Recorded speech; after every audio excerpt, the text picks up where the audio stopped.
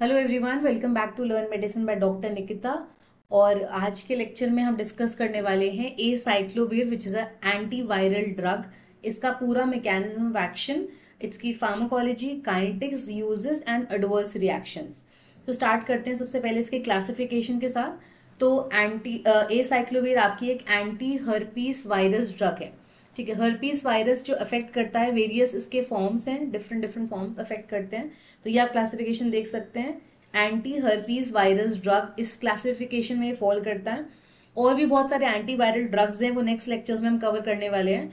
और अगर आपको लगता है कोई भी ड्रग आपको जल्दी पढ़ना हो, या you need a video early आपके जैसे एग्ज़ाम्स आ रहे हैं तो आप प्लीज़ कमेंट सेक्शन में उसका मैसेज ज़रूर से ड्रॉप कर दीजिए so that I can get a notification कौन सा आपको लेक्चर की अर्जेंट रिक्वायरमेंट है। So please do like share and subscribe to learn medicine by doctor Nikita हम स्टार्ट करते हैं आगे क्योंकि इसकी वेरियस कैटेगरीज हैं इसमें एंटीवायरल ड्रग्स में। ऐसी ड्रग्स जो सिर्फ़ और सिर्फ़ हर्पीस वायरस को टारगेट करती हैं हर्पीस वायरस मोस्टली और बहुत ही commonly through sexual interferences spread करता है।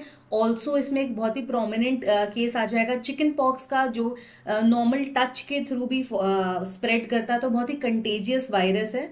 And uh, anti-influenza virus uh, is also falling into the category of uh, the viral infection जिसके लिए separate antibiotics use होते हैं separate antiviral drugs use हो रहे हैं then anti-hepatitis non-selective antiviral drugs then we have anti-retrovirus drugs और ये सारा उनका specific regime है right तो we have uh, सबका एक different mechanism of action है start करते हैं हमारी first drug के साथ which is the acyclovir तो ए साइक्लोवीर हमारा टारगेट कर रहा है जैसे मैंने अभी सबसे पहले यहाँ बताया था it is an anti herpes virus drug तो it is targeting the herpes virus तो हर्पीस वायरस के बहुत सारे कैटेगरीज हैं herpes simplex one herpes simplex two varicella zoster आप लोग चिकन पॉक्स और इस टर्म्स के नाम से भी जानते हैं Epstein Barr virus and cytomegalo virus तो इन सारी uh, हर्पीज वायरस को ट्रीटेबल uh, को ट्रीट करता है acyclovir drug which is the prominent anti viral drug तो ये स्पेसिफिकली वायरस को टारगेट करता है। कैसे टारगेट करता है? एक ब्रीफ इंट्रोडक्शन इसके बारे में पढ़ लेते हैं। Acyclovir is preferentially taken up by the virus infected cells तो सपोजिंगली ये होस्ट का सेल है और होस्ट के सेल जो है बहुत ही आसानी से जिसमें वायरल इन्फेक्शन हुआ है। है ना? जिस एरिया में भी वायरल इन्फेक्शन हुआ है ऑब्वियसली वहाँ के सारे सेल्स उस वायरस से इन्फेक्टेड होंगे। तो ए साइक्लोवीर बहुत ही प्रिफरेंशियली अं, अंदर बहुत ही आसानी से एंटर कर जाता है ठीक है? Because of the selective generation of the active inhibitor of the virus infected cell and greater inhibitory effect on viral DNA synthesis तो इसका मेन टारगेट क्या होता है? पहली बात तो बहुत ही ईजिली होस्ट सेल इसको ऑब्जॉर्व कर लेता है। सेकेंड चीज़ ये डायरेक्टली टारगेट करता है वायरल के डीएनए की सिंथेसिस के प्रोसेस को। कोई भी अगर ऐसा मॉलिक्यूल है, अगर हम बोलते हैं कोई भी सॉर्ट ऑफ़ माइक्रोबियल इन्फेक्शन है माइक्रोब कैसा भी हो सकता है बैक्टीरिया भी हो सकता है वायरस भी हो सकता है, किसी भी कैटेगरी का हो सकता है तो अगर वो माइक्रोब अपने आप को रेप्लीकेट नहीं करेगा या फिर उसके रेप्लीकेशन के प्रोसेस में आप हिंड्रेंस क्रिएट करेंगे because with the help of any antibiotic तो वो डायरेक्टली उसके रेप्लीकेशन प्रोसेस को टारगेट करेगा और उस वायरस की कॉलोनीज नहीं बन पाएँगी या उस बैक्टीरिया के कॉलोनीज नहीं बन पाएँगे। और इस तरह से इन्फेक्शन स्ट्रॉन्ग नहीं हो पाएगा स्ट्रेंथ स्ट्रेंथन नहीं हो पाएगा और it will not be able to spread तो यहाँ पे हम इसी को चेक कर रहे हैं। और ए साइक्लोविर की टॉक्सिसिटी होस्ट सेल्स के लिए कम होती है। होस्ट मतलब जिस भी पर्सन को उसने इन्फेक्ट करा है तो उसको टारगेट नहीं कर रहा है। और ये बहुत ज़्यादा इफ़ेक्टिव एक कीमोथेरेप्यूटिक ड्रग है, इसका therapeutic index is higher okay so let's move to the mechanism of action now so see supposingly यहाँ पे हम ले लेते हैं, ये है इन्फेक्टेड सेल ये आपका इन्फेक्टेड सेल है। एस वी मतलब आपका हर्पीस सिंप्लेक्स वायरस से इफ़ेक्ट हुआ है। ठीक है, दिख रहा है herpes simplex one herpes simplex two कोई भी हर्पीस की कैटेगरी में ऐसा ही काम करेगा इस साइक्लोविर तो H S V infected mean stand for herpes simplex तो हर्पीस सिंप्लेक्स का जो ये सेल है, ये कहाँ पे आया है? ये पूरा होस्ट की बॉडी है। ये आपकी पूरी की पूरी होस्ट की बॉडी है। उस होस्ट का में किसी भी बहुत सारे ऐसे सेल्स को इस वायरस ने इन्फेक्ट कर दिया है। कौन से वायरस ने हर्पीस वायरस ने इन्फेक्ट कर दिया है। अब अगर आप ए साइक्लोविर देते हैं, उसको एक एंटी वायरल ड्रग एडमिनिस्टर करते हो तो पहली बात मैंने बताया था अभी कि इन सेल्स की टेंडेंसी होती है कि ए साइक्लोविर को बहुत ही आसानी से ये अब्जॉर्ब कर लेता है। तो acyclovir makes an entry into the infected cell और इन्फेक्टेड सेल पे आते ही, क्योंकि वहाँ पे वायरस प्रेजेंट है वायरस क्या रिलीज़ करता है? वायरल थाइमिडाइलेट काइनेस ये क्या होता है? ये एक एंजाइम होता है जो वायरस ही रिलीज़ करता है। मतलब हर्पीस सिंप्लेक्स वायरस रिलीज़ कर रहा है वायरल थाइमिडीन थाइमिडीन काइनेस तो बिकॉज़ ऑफ़ दिस जो ए साइक्लोविर है, वो अपने मोनोफॉर्म में कन्वर्ट हो जाता है। आप इधर देख लो acyclovir converts to acyclovir monophosphate तो इसका कन्वर्जन हुआ है because of the viral thymidine kinase enzyme present in the और ये एंजाइम कहाँ प्रेजेंट है? ये हमारे इन्फेक्टेड सेल में ही प्रेजेंट है। मतलब वायरस ही इस एंजाइम को रिलीज़ कर रहा है होस्ट सेल के अंदर। ये हेल्प करती है ए साइक्लोविर जो हमारी एंटीवायरल ड्रग है, उसको कन्वर्ट होने के लिए into acyclovir monophosphate acyclovir monophosphate now it converts into biphosphate और ये कैसे हो रहा है? ये सारी चीज़ें कैसे हो रही हैं? ये अपने बाय फॉर्म या डाई फॉर्म में कन्वर्ट हो रहा है इन्फेक्टेड सेल के अंदर ही in the presence of host cellular kinase तो इस एंजाइम का याद, नाम याद कर लेना। सेल्यूलर काइनेस जो होस्ट है तो होस्ट ही रिलीज़ कर रहा है सेल्यूलर काइनेस बिकॉज़ ये सारा का सारा इन्फेक्शन होस्ट सेल के अंदर हो रहा है। वायरस ने रिलीज़ किया था वायरल थाइमिडीन काइनेस और होस्ट सेल के अंदर पहले से प्रेजेंट होता है सेल्यूलर काइनेस तो सेल्यूलर काइनेस जो एंजाइम है, ये ए साइक्लोविर मोनोफॉस्फेट को कन्वर्ट कर देगा ए साइक्लोविर डायाफॉस्फेट उसके डाई फॉर्म में यहाँ पे दो फॉस्फेट्स आ जाते हैं। उसके बाद अगेन द सेम एंजाइम ये जो हमारा सेल्यूलर काइनेस है, यही एंजाइम हमारा डाइफॉस्फेट को किसमें कन्वर्ट कर रहा है? इनटू ट्राइफॉस्फेट इसमें देख रहे हैं आप तीन फॉस्फेट मॉलिक्यूल्स आके जुड़ जाते हैं ए साइक्लोविर में। अब ये जो ए साइक्लोविर ट्राइफॉस्फेट है ये अपनी एंट्री बनाता है न्यूक्लियस के अंदर ठीक है? तो लेट्स से यहाँ पे क्या हो रहा है। अब ये अपनी एंट्री कर लेता है न्यूक्लियस के अंदर हमारे वायरल न्यूक्लियस के अंदर। और वायरल न्यूक्लियस के अंदर क्या हो रहा है? जैसे नॉर्मली कोई भी माइक्रोब uh, अपने आप को रेप्लीकेट करता है एग्जैक्टली exactly ऐसे यहाँ पे डीएनए रेप्लीकेशन हो रहा है। तो ये जो वायरस है ये वायरल कॉपीज बना रहा है। कॉपी आएगा तो इसका इन्फेक्शन और स्ट्रॉन्ग होगा। ये आपको मल्टीप्लाई करेगा और इसका इन्फेक्शन इंटेंस इन्फेक्शन हो जाएगा।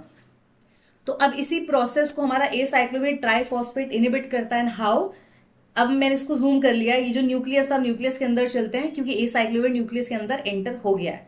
When it enters the nucleus ये यहाँ पे एंटर होता है। तो न्यूक्लियस के अंदर ऑलरेडी आपको पता है प्यूरिन एंड पिरिमिडीन प्रेजेंट है। अगर ये हमारा डीएनए है या फिर ये हमारा आरएनए स्ट्रैंड है तो आपको पता होगा यहाँ पे क्या प्रेजेंट होता है? ए डी जी सी मतलब adenine guanine cytosine sorry A T G C adenine thymine guanine and cytosine या फिर सिंगल स्टैंड की बात करते हैं तो यूरेसिल प्रेजेंट होता है राइट right? तो यहाँ पे इनमें से जो ग्वेनिन है, इस ग्वेनिन के साथ पूरा पूरा इसका रोल है। इस ग्वेनिन के साथ स्ट्रक्चरल सिमिलैरिटी होती है हमारे एडनो ए साइक्लोवीर ट्राइफॉस्फेट की।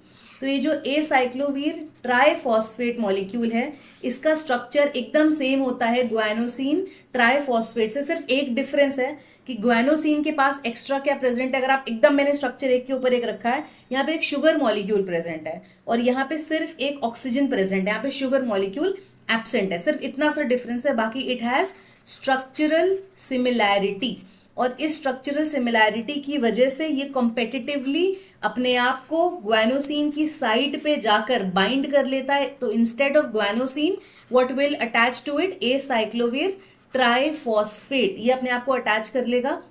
और अगर आप यहाँ पे देख रहे हैं कि डीएनए अपने आप को रेप्लीकेट कर रहा था मतलब डीएनए इलोंगेशन हो रहा है यहाँ पे डीएनए अपने आप को इलोंगेट कर रहा है और इस प्रोसेस को अगर बीच में ही टारगेट कर दिया जाए, यहाँ पे ग्वानोसिन की जगह एडेनोसिन ट्राइफॉस्फेट आके बाइंड कर जाता है because of the structural similarity and it stops and inhibits the DNA elongation process and और इस डीएनए इलोंगेशन के रुकने से ये डीएनए प्रोसेस टर्मिनेट हो जाता है इसकी वजह से ये टर्मिनेटेड डीएनए खुद से डीएनए पॉलीमरेज को इरिवर्सिबली इनहिबिट कर देगा irreversibly so this process can not be reversed therefore acyclovir is used as an antiviral drug और इस वायरस का रेप्लीकेशन नहीं हो पाएगा डीएनए मटेरियल रेप्लीकेट नहीं हो पाएगा, उसके कॉलोनीज नहीं बन पाएँगे and that is how we control the virus आप वायरस के इन्फेक्शन को कंट्रोल कर पा रहे हैं.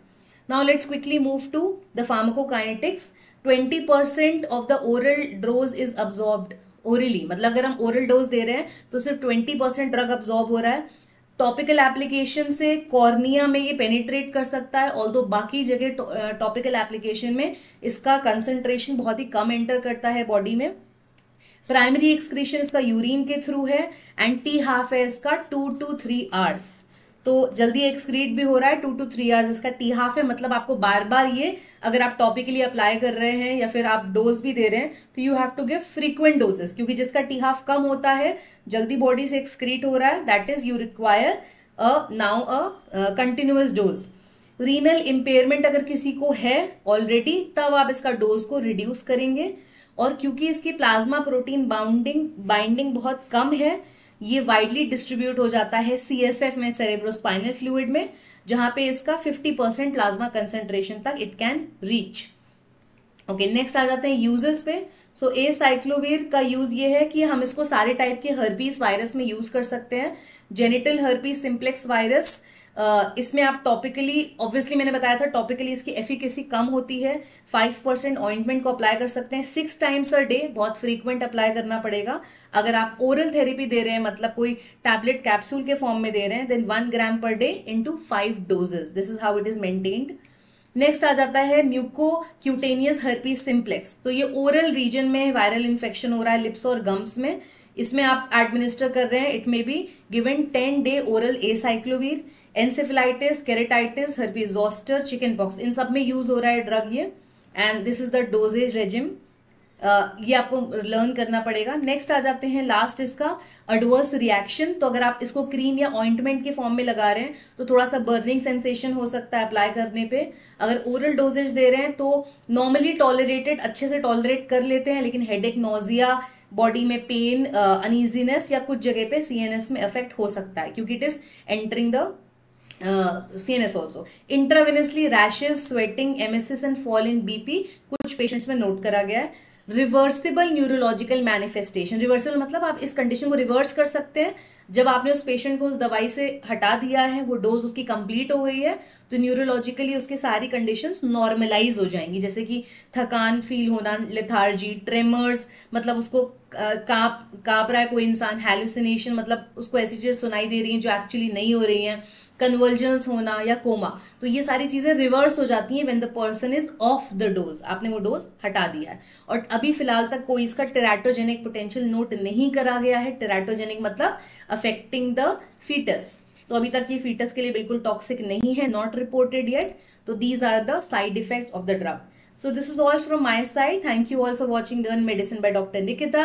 And और कोई भी आपको ड्रग्स लगते हैं H A P pathophysiology anything you want me to cover please drop the topic in the comment section और जल्दी से इसका एनिमेटेड वीडियो भी मैं रिलीज़ करने वाली हूँ। तो hope all of you understood the topic very well this is all from my side thank you